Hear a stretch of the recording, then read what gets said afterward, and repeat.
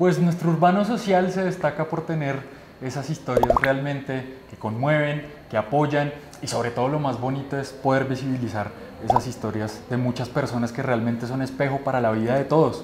Yo estoy con una persona muy especial de la que tuve la posibilidad de conocer su historia porque es una historia bien retadora, bien importante y estoy con Juliana Vargas. Juli, ¿qué tal? Un placer tenerte en Urbanos. Mucho gusto, estoy muy contenta de estar acá, de poder contar un poquito la historia, contar un poquito lo que vivo y visibilizar lo que es el dolor crónico, que muchas veces eh, se ve oculto, no, no se visibiliza y, y no se valora. Hay muchas personas que sufren también y, y, pues no tienen soluciones ni tienen oportunidades de, de, conseguir mejoría.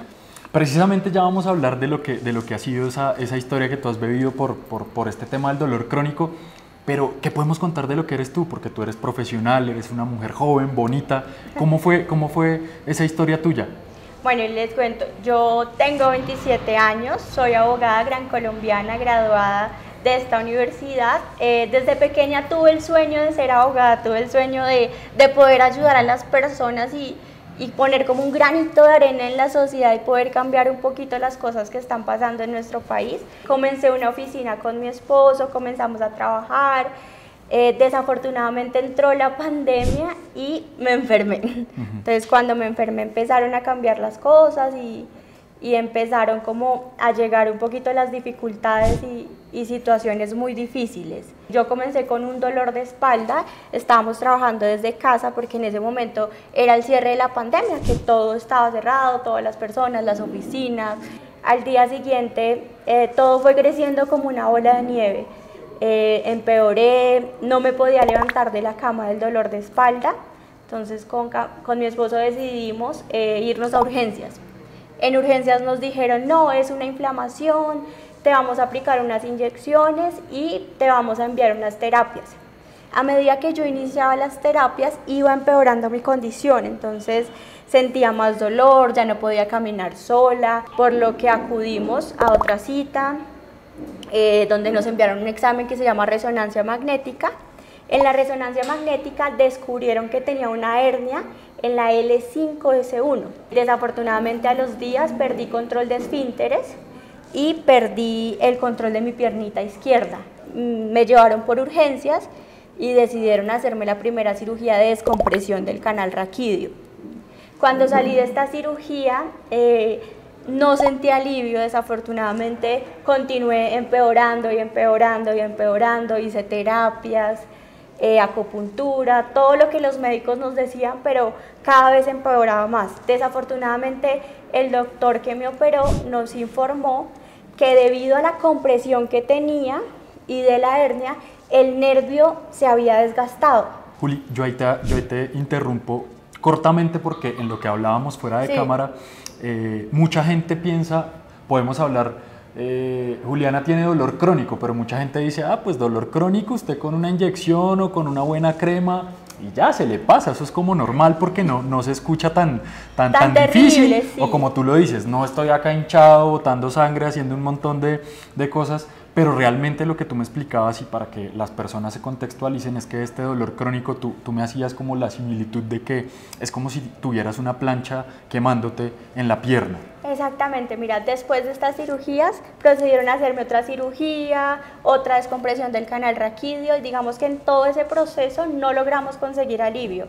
Entonces, por último, fui diagnosticada con síndrome de espalda fallida, mielopatía, que es el daño de los nervios, y dolor crónico radicular izquierdo. Exacto, mi dolor crónico es en toda mi pierna izquierda y en la parte lumbar de mi cuerpo. Y el dolor es como si, lo más parecido a lo que te podría comparar es como si tú te estuvieras quemando. Eh, todos los médicos y todas las partes que habíamos visitado, la EPS, los seguros, eh, nos prácticamente nos desahuciaron, nos dijeron no hay nada que hacer, tienes que aprender a vivir con ese dolor. En ese momento de, impotencia, de decepción, eh, atravesar momentos de depresión, de, de, mucha tristeza, de desolación, pues llegó una historia muy bonita o una luz en el camino, y es la posibilidad de, de, tener una alternativa. ¿Cuál es, Julio? De tener una calidad de vida. Imagínate, estaba pasando por una depresión muy fuerte, porque pues ya habíamos investigado, habíamos consultado con muchos médicos y nos dijeron definitivamente no hay nada que hacer. Pero apareció una luz, apareció el doctor William Contreras, el doctor Wu, es un neurocirujano funcional. Nosotros tuvimos la cita con él el día 20 de abril, o sea, me acuerdo tanto, porque yo le decía, doctor, dígame por favor si hay algo que se pueda hacer, yo me estoy enloqueciendo con este dolor, yo no tengo vida. Entonces nosotros comenzamos una campaña, eh, ya que pues esta oportunidad tenía que hacerse una prueba. El doctor nos dijo que había algo que se llamaba neuroestimulación medular, que es como un marcapasos que envía unas señales al cerebro diferentes a las del dolor. En la cirugía lo que hicieron fue implantarme unos electrodos en el canal medular y que iban conectados a un neuroestimulador que estaba por fuera de mi cuerpo. Este neuroestimulador se, se manejaba con un control y con este control yo manejaba la intensidad de la señal que recibía y gracias a Dios con este neuroestimulador logro bajar la cantidad del dolor. Y ahí lo importante de poder visibilizar tu historia y que mucha gente conozca lo que te pasa es que la posibilidad de encontrar esta alternativa es algo que como lo cuenta Juli no tiene cubrimiento de EPS, es una inversión por encima de los 200 millones de pesos y tú estás haciendo una serie de recolección de fondos para poder lograr ese sueño que te pueda llegar a, lograr a tener algo de calidad de vida. ¿Cómo le estás haciendo? Exactamente, imagínate que Dios ha sido maravilloso con nosotros en todo este proceso.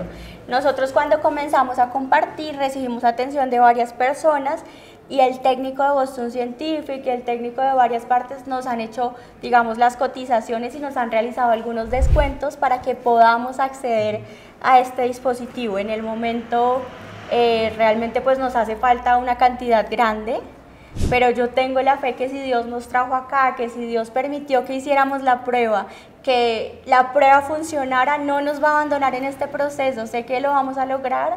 Mi Juli, yo creo que para finalizar, una invitación a todas las personas que están ahí viéndote, dónde te pueden encontrar, cómo son tus redes sociales, cómo te pueden apoyar, pues porque la idea es poder encontrar todos esos fondos que te generen esa calidad de vida, que es la razón de este espacio. La idea es que podamos acceder al, al, dispositivo final, al dispositivo del implante definitivo, entonces los invito a seguir mis redes sociales, los invito a conocer mi historia. En Instagram me consiguen como arroba julesbq y en Facebook como Juliana Vargas Quintero. Los invito a todos a que por favor sigan mis redes sociales.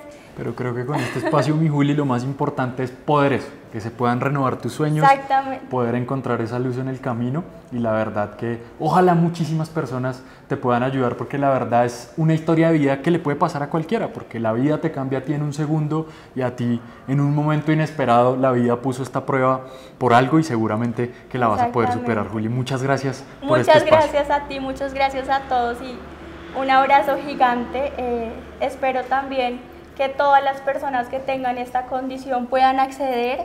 Eh, mi, mi, idea es, es después de, de conseguir el implante definitivo, buscar la forma para ayudar a muchas personas. Un saludo muy importante a la señora Noemí, que es la madre de Juli, al viejo Camilo, que es el esposo de Juli. Creo que ese es un ejemplo también muy bonito porque desde el amor de familia es que se pueden superar estas situaciones. Así que muchas gracias. Muchas gracias, fue un placer.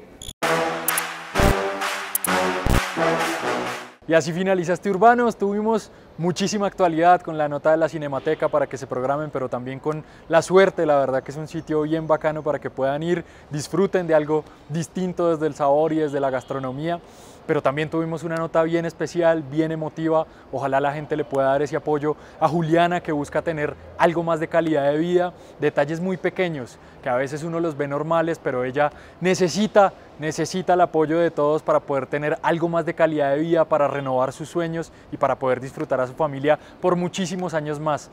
No olviden que si tienen alguna recomendación, algún emprendimiento, algún tema que nos quieran compartir, nos pueden escribir arroba teleamiga TV. Nos vemos el próximo viernes. 教教。